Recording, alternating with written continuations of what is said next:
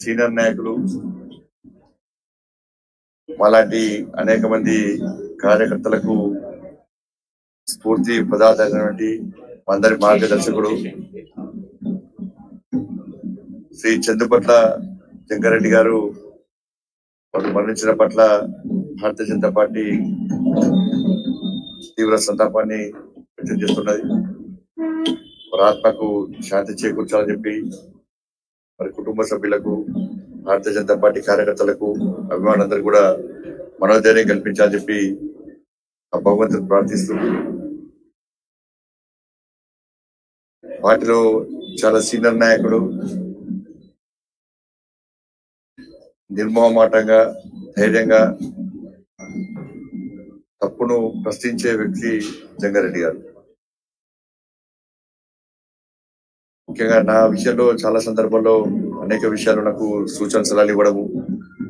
నేను పొరపాటు చేస్తే కూడా ఫోన్ చేసి మందలించేటువంటి వ్యక్తి జంగారెడ్డి గారు వారు ఇక్కడ ఏది మాట్లాడినా కూడా కార్యకర్తలు ఎవరు కూడా వేరే రకంగా భావించేవారు జంగారెడ్డి గారు వాస్తవాలు చెప్తారు సూచనలు ఇస్తారు తప్పు చేస్తే తిడతారని చెప్పి భయంతో పనిచేసే వాళ్ళు అందరూ కూడా.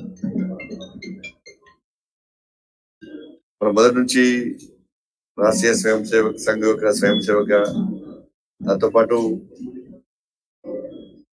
మేము పుట్టకముందే అరవైలో జనసంఘ నుంచి శాసనసభ్యునిగా తిరిగి డెబ్బై ఎనిమిదిలో జనతా పార్టీ నుంచి శాసనసభ్యునిగా ఎనభై మూడులో భారతీయ జనతా పార్టీ శాసనసభ్యునిగా తిరిగి ఎనభై నాలుగు సంవత్సరం పాటు భారతీయ జనతా పార్టీ శాసనసభ్యుగా ఉన్న తర్వాత ఎనభై నాలుగులో దేశంలో ఇద్దరే ఎంపీలు భారతీయ జనతా పార్టీ నుంచి. ముఖ్యంగా దక్షిణాదిలో మొట్టమొదటి ఎంపీ జంగారెడ్డి గారు. దేశవ్యాప్తంగా చర్చ జరిగింది. ఇద్దరే ఎంపీలు దేశంలో. ఉమ్మడి ఆంధ్రప్రదేశ్ నుంచి దక్షిణాది నుంచి జంగారెడ్డి గారు పివి నరసింహారావు మీద దాదాపు యాభై నాలుగు వేల ఓట్ల మెజార్టీతో గెలిచినటువంటి గొప్ప వ్యక్తి అని చెప్పి చర్చ జరిగింది.